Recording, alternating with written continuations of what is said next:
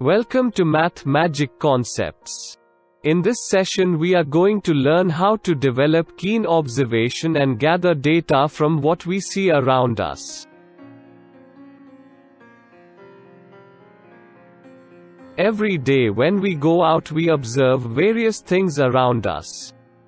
It could be beautiful meadows with trees of various sizes having various shapes of leaves.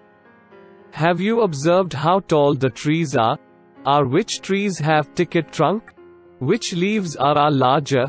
What are the different shapes of the leaves?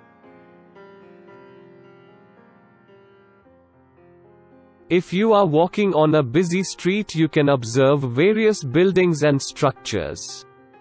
Each building comes with its own shape and size. How many tall buildings are there outside of your house? What are the various shapes of these buildings?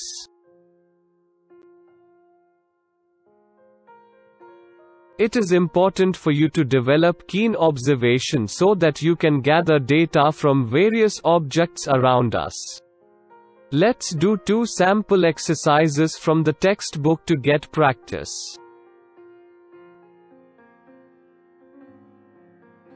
Count the shapes in the above picture.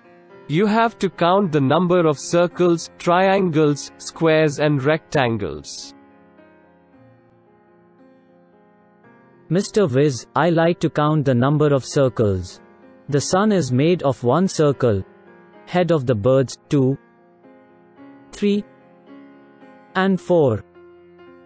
The cat is made of 4 more circles, 5, 6, 7, 8. So we have a total of 8 circles. I will count triangles. There are so many. Sun has 1, 2, 3, 4, 5, 6, 7, and 8. Bird's body is also made of triangle. 9, 10, 11, 12, 13, and 14. Then there are trees 15, 16, 17, and 18. So we have 18 triangles in total. Hey curious, you missed hills and feet of the cat. They are also triangles. Oh yes, that is 4 more. So we have 19, 20, 21, and 22. A total of 22 triangles. Now let me count the squares. There are only two, forming the window of the house. What about the rooftop? I think they are also squares. I missed them. There are five squares on the rooftop. So we have three, four, five, six, and 7. Total of 7 squares.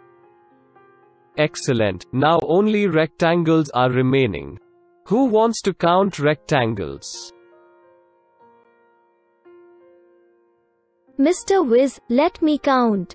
House is full of rectangles. 1, 2, 3, 4, and 5. There are a total of 5 rectangles. How about the trunk of the trees? Oh, no again I missed them. Four trees have four trunks that are rectangular. So 6, 7, 8, and 9. A total of 9 rectangles. So in summary we have 8 circles, 22 triangles, 7 squares and 9 rectangles. Now that you have counted the shapes, name the shapes that occurs the most and the shape that occurs the least. Well, 22 is the largest number, so triangle occurs the most. 7 is the smallest, so square occurs the least. Fantastic. See from a single picture, with keen observation so much data we are able to gather.